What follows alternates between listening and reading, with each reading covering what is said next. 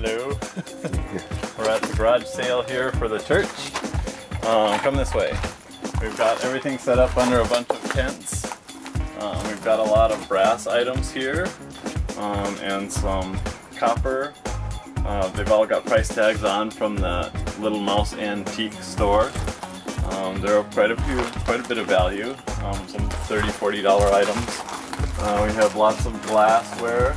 We've got some really fun um, little collectibles. We've got lots of neat magazines. We've got Saturday Night Post um, from the 1929 and 1930s. We've got lots of books, books, books, books, books. We've got hardback and soft pack, paperback, Harvey Milk. Um, just lots of neat items. We've got lots of furniture. We've got a little spoon collection.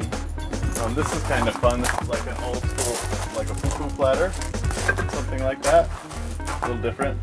Got an old flyer radio wagon. Um, lots and lots. We've got some uh, vintage jewelry, most of it's costume. Um, we've got about 10 pieces that are going to go get valued today to see if they're they're plated in 14 and 18 karat to see if they're worth something. Lots of Avon products and collectibles. Um, we've got some really neat old antique tools here. We're not really sure exactly what they are, but they're old, very old. Bag and Oh. dowel and That one there is for beekeepers. for beekeepers. That's this here is a smoker for beekeepers. Yep.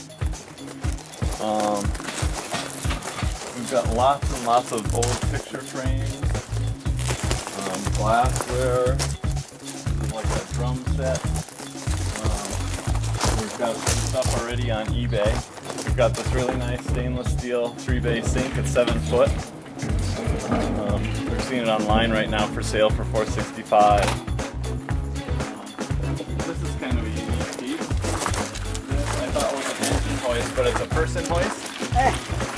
It's for if somebody falls down or getting them out of bed, and it shows a picture on the back here where they're in kind of like a hammock type setup, and they put them in the hammock and then they're able to lift them up with that. Yeah, for people, it's used a lot for people in wheelchairs. Yep. We've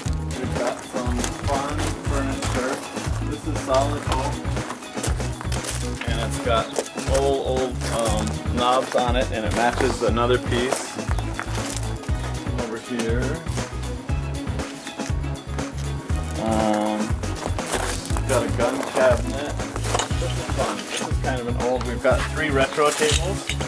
This is kind of unique because these are um, kind of mid-century, and this one has the extension to it and a drawer on one side, so it's kind of unique. Here's a nice oak piece, pretty old. We've got lots and lots of everything, lots of different items, Christmas supplies, um, lots of old uh, books and magazines and furniture, and it's going to be good. We've Got lots of stuff. This is an old popcorn maker. We've got an old candy, uh, cotton candy maker. Old cotton candy maker. They're $405 in 10 paperbacks, and we have 39 left.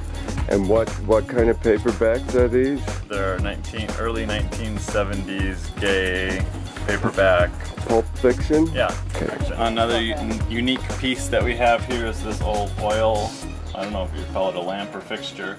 Uh, fills with oil on the bottom and then oil runs down all of these fine lines. It was very popular back I think in the early 80s. Um, so we have that and the sale if you're interested in something like that. Uh, the sale is this Friday from 8 to noon and Saturday from 8 to noon and the address is 2003 North Sandra in Palm Springs 92262 so please come and uh, support the church.